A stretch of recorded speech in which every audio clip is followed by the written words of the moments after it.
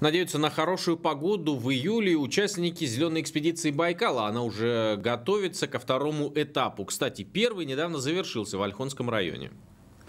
Главная цель экспедиции – провести комплексное изучение побережья Малого моря. Для этого участники прошли около 70 километров от поселка Ангурен до поселка Сарма.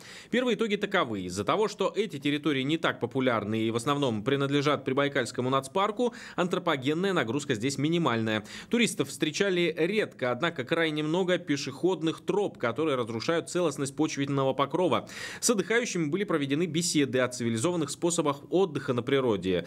Продолжить изучение побережья побережье волонтеры планируют в конце июля. По итогам двух этапов будет подготовлен аналитический отчет с выводами о текущей реальной ситуации и нарушениями на Малом море.